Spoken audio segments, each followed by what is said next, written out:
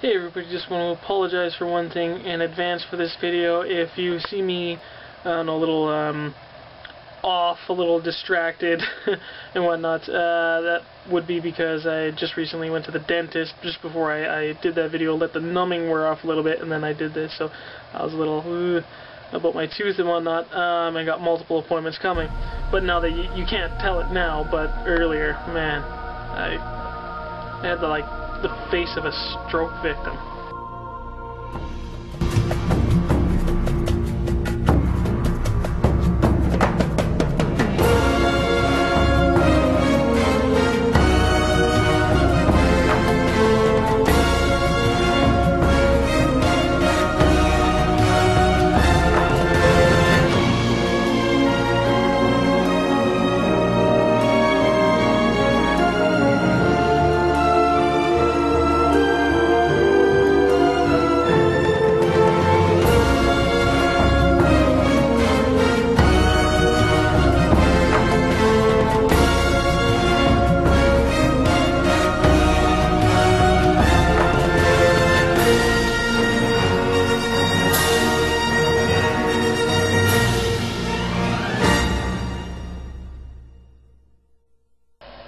Everybody, Chris here, uh, to show you in this video a few pickups um, I got for, I can't remember what week. um, it's uh, some more comic books that arrived in the mail. And uh, yeah, just I've, I've read them now and just share some of my uh, quick thoughts on them. So let's start here with um, Witchblade 141. Well, I haven't read this one. This one is actually uh, a comic book for my wife, which is quite busy in, at her work right now, and she's gotten behind on reading the Witchblade series, but uh, it is a beautiful series. I'm starting to get interested in it, and I'm reading some issues here and there, but uh, haven't been reading this one. Um, but uh, the artwork from this Sejic is just amazingly beautiful. I hope they're paying this guy well, because it's just, it is just crazy good art. It is amazing. So we'll put that one down there. Next one up here is Hulk number 620, or Incredible Hulks, I guess. I like the cover there. Cover's fairly good. Um, this one is a $4 title. Um, that's supposed to be Hulk's father on the cover. this is part of the Chaos um, War whatever and uh, I'm not getting into the Chaos War thing. The Hulk issues with Chaos War have been pretty good, but um, I don't know, I'm just not into this uh, overall event. Um, you know, a lot of people rising from the dead again and that, and overall, I've already seen that kind of stuff in the, the X-Men titles and whatnot, so, um, you know, and there's all this Brightest Day stuff too. but the issue itself is fairly good. Um, it leaves you off where he's actually going to be going into the Chaos War um, miniseries, and they are actually an important um, front, the Hulks, at um, uh, fighting and battling against the uh, Chaos King.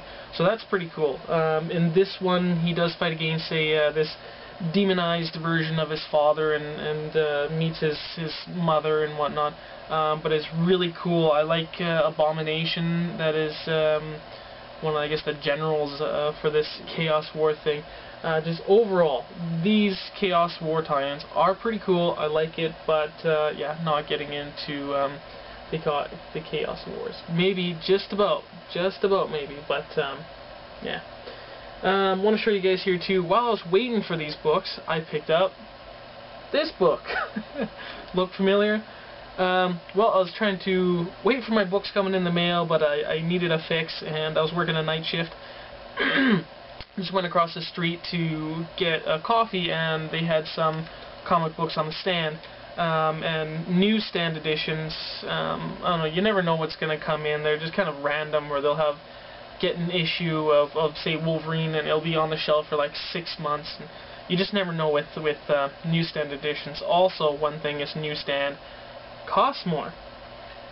Now, I didn't really look at the price when I first picked this up, but it disturbs me now. Um, if you can see there, newsstand edition, five dollars. Five dollars for this title. It's the same book but you have your direct edition, which is $3.99, and always newsstand has usually always been a dollar more, but it just baffles me now that that five dollars for the comic book. It's not even a variant edition. I mean, if they were changing things up for the newsstand editions, it might make me want to pay that much more. But I think a lot of us comic book guys, you know, we really want to draw the line at $2.99. Um, DC is doing a really great thing with their regular monthlies. Um, you know, doing $2.99. um, so Marvel guys, I don't know, you, you, we're all being more picky, more choosy, and making sure our content, variants, they all got to be all that much better if you're going to continue having higher prices. So, but I eventually think Marvel should follow suit and, um, you know, be dropping their prices too. But just want to let you know, five bucks, man, oh man. Okay. Uh, I don't know why I'm showing this. Gotta talk about it though because it's it's it's getting a lot of talk. Okay, Wolverine, the best there is, issue number two. Uh, this one's hard to to talk about. Just the overall, uh, the series did not get off to a good start. Awful start, awful start. Terrible first issue. Marketing didn't match the um, the uh, you know the the story and the the you got the things are censored out and it's just retardedly crazy. Um, but in this issue, I will say, slightly better than the first.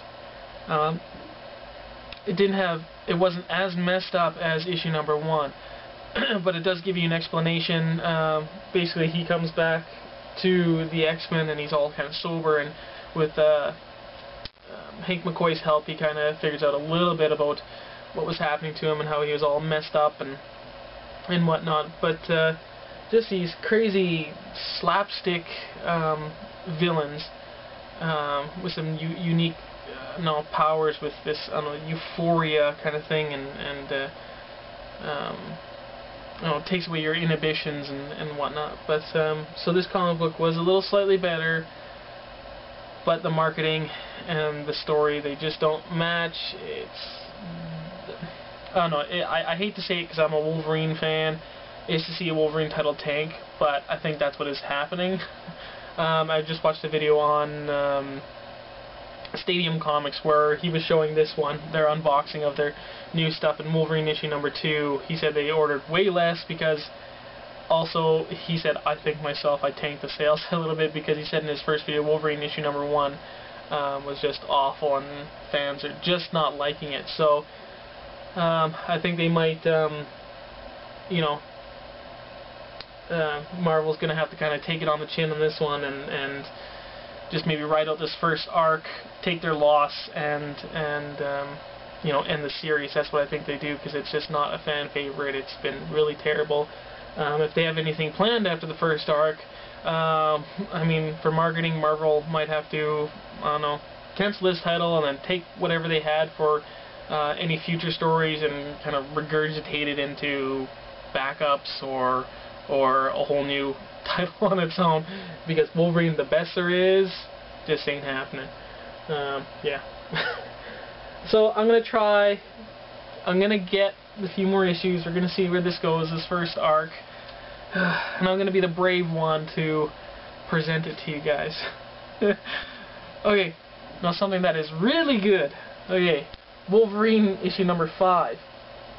This is the um, conclusion uh, to the first arc um, where he's in hell, and basically it's kind of I think in a sense his father kind of helped get him to hell, which he meets in this comic book, which was really kind of cool.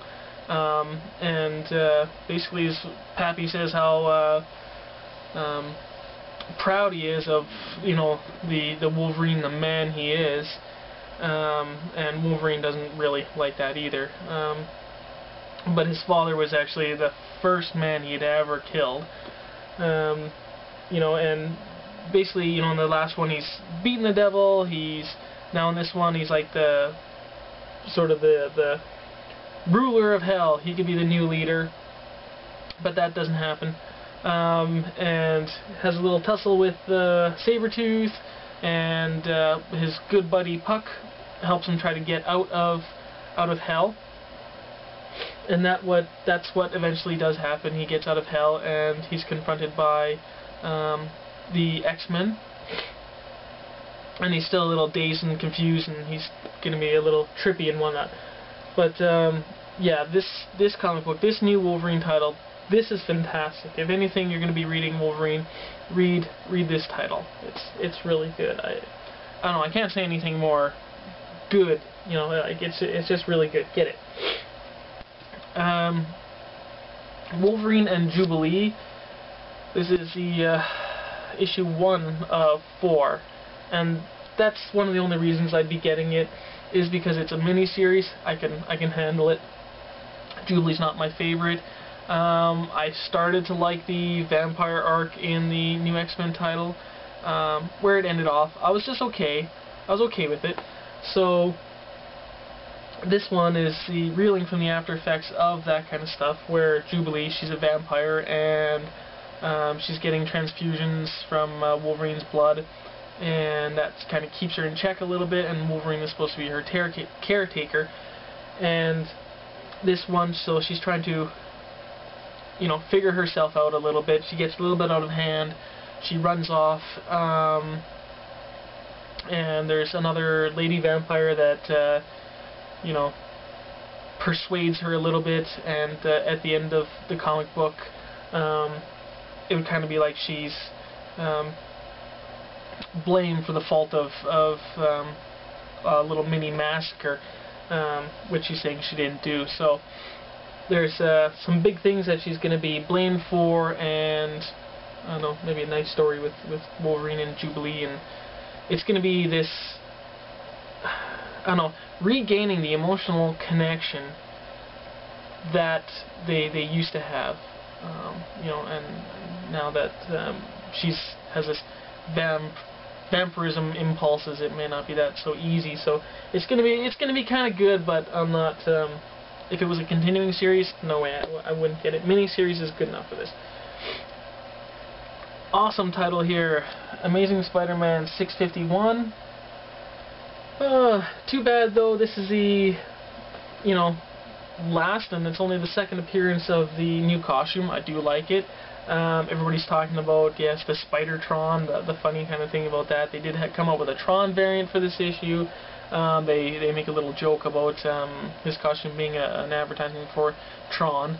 Um, so that's all kind of funny, but I do like it. Um, in this one, you do get to see the full spectrum of the suit of sorts, where it can cut off sound, um, and or how it's stealth. The, the green is supposed to be stealth. You got the red, which is supposed to be uh, like a soundproof or whatever, so it can keep out uh, the uh, goblins, hobgoblins, sonic, sonic scream, and then you have a, a, white one, which I would I would assume is is just a neutral. Um, so it is pretty cool. Um, this big time stuff and with Hobgoblin is amazing, just great stuff. I love where this starts. Um, just a note to there's a cool letter in the back there um, about somebody just a big long-winded rant about um, Hobgoblin and how this uh, Phil Urich uh, has taken over the role as, as Hobgoblin. And basically he's kind of like a Peter Parker but the villain version. You know taking pictures of himself and, and uh, really making good things happen for him as a villain. And those are helping him out as as uh, in his life as a person. Um, when he was talking about uh, how he's kind of disappointed or he doesn't believe that Roderick King Kingsley was the original Hobgoblin that was killed when this this Hobgoblin stuff started. Um, he says just doesn't believe that. Says Roderick uh, Kingsley would have been more smart than that. He gives us reasons. It's a really neat letter. If you haven't read the letter, I think read it. Uh, I think it kind of does make sense. It would be um, a true uh, Hobgoblin twist if it really wasn't the uh, Kingsley Hob Hobgoblin that wasn't killed. That will be really neat, and maybe we'll see the Kingsley Hobgoblin come back. It will be kind of neat if, if that does happen. Uh, Big Time, The Amazing Spider-Man. I got something on my book. uh, 652. Uh, you know, dang it, back to the original um, costume. I mean, you only get two issues of the other one, and then you're back to this. I mean, it's classic, but I was enjoying that new costume. Um, you get to see the return of the Scorpion in a new suit. Mac Gargan is the Scorpion in a new suit. Um, with the help of Alistair Smythe, he's got this bug army. Um, he's going after J. Jonah Jameson and his loved ones. Um, in this one, it's first um, his son, who is um, on this new space rocket, and uh, this launch is overseen in part by Horizon Labs, which um, Parker is working for now. So he gets to be there, and then he gets a sense of something's bad's going to happen, um, and it does. And Alistair Smythe and his bug guys come to, um, you know, put a monkey wrench in, in their plans here and um, basically send Jameson's son in, off into off into nothing. Um, so it's really cool. Him fighting against you know Alistair Smythe and this new new Scorpion is is pretty awesome. Um, I know that there was a female Scorpion um, during the I think the Gauntlet stuff. There was a female Scorpion, so I wonder what's going to happen with that character with uh, Mac Gargan back as the as the real Scorpion. Um, yeah, just really neat. It ends off uh, them on the space shuttle. It's starting to launch, and um, um, Spider-Man and the Scorpion are, are on the rocket. So pretty cool overall, big time. Everybody's saying good things about it. So yeah, good good stuff. BP BPRD Hell on Earth Gods issue number one of three. I'm not going to say much about this one because um, you know the BPRD Hellboy stuff I've, I've never said anything bad. The story arcs are always great. Um, this one, you never see um, anybody from the BPRD until the last page, which was neat. Um, and, and, you still enjoyed the whole overall thing, so it was really cool. If you're not reading Hellboy or BPRD, get it. It's great stuff. Um, I am just, I, I don't know, I'm, I'm so ready for Hellboy to be back, though. Each issue of BPRD that's coming out, I'm like, come on, come on, bring back Hellboy, bring back Hellboy. So, I don't know, the stories I'm kind of like skimming through a little fast, maybe, because um, I want to get to to Hellboy coming back. But uh, it's it's really good. It's really good stuff. Okay, Invincible Iron Man issue number 500. Now, this one is kind of a self-contained um, story. Um, where something that Peter and Iron Man were working on um, when while Peter was employed with him, and I think that was during the Civil War-esque um, time there. Um, and this terrorist group now is trying to uh, has stolen some of the ideas, the plans um, uh, that um, him and him and uh, that Iron Man and Peter Parker were working on, and they're trying to use that for their own for their own means, um, and then it's also going into a future tale where that tech that they were designing uh, affects uh, a future of Tony Stark's and his kids, and you know the world is a you know bad place, and it's all this Stark tech that has been um, used by the Mandarin, nonetheless, and um, to make you know the Mandarin the, the, the ruler of all. And so this tech comes into play. Um, it's kind of a neat story. It's kind of a self-contained thing. Um, I'm not too excited about the I don't know the future story. Um, I think now they're Marvel is piling on these future um, stories and um, time travels. I'm I'm getting a little pulled back from it because it's getting to be too much for me now. Um, in Avengers, I thought it was neat, you know, but then they started all this other stuff too. I mean, you got time travel with, um, you know, Astonishing Spider-Man and Peter Parker. You have this issue, Iron Man 500, a, a future tale. Uh, you had the Avengers going into the the future. Um, you know, and these are all the future stories are all you know in the Marvel would be alternate realities, and if you're piling all this stuff onto me, I don't like it because it's it's all alternate realities. It's all what ifs, and I like what if stories to be self-contained, like in the what if tales. Um, so it's okay, but 500 as for me, eh, it's not all that good. Art, art is great. Um, Salvador's art is is beautiful. Um, can never argue with that. In this one, there are two two artists. There's a different art style for the future um, tale, and I don't I don't actually like that. Um, doesn't work on me for a 500th issue. Uh, so I am going to pick up issue uh, 500.1. I think that'll be neat. Um, supposedly 501 and the point one system. is supposed to be a great jumping on point for people. Um, and just another view here, you guys. This is the Iron Man number 500 um, variant. Pretty cool stuff. Okay, so anyways, you guys, that's that. Um, hopefully February 2nd, um, I'll be able to show you guys those books soon. Um, and I got some more stuff coming in the mail, some really great stuff. Um, and actually another Iron Man 500 variant, I think that will be really cool. So, yeah, anyways, that's that, you guys. I'll talk to you later. Bye. Lastly, guys, what I want to also tell you, you may have noticed in the beginning of the video that I got more issues of Spawn 200, six six of the covers, um, and that would be because I want to announce a upcoming raffle for my 200 um, subscribers. I'm over 200 subscribers now, so eventually I'm going to do a, uh, a raffle, so just to let you guys know, that's coming.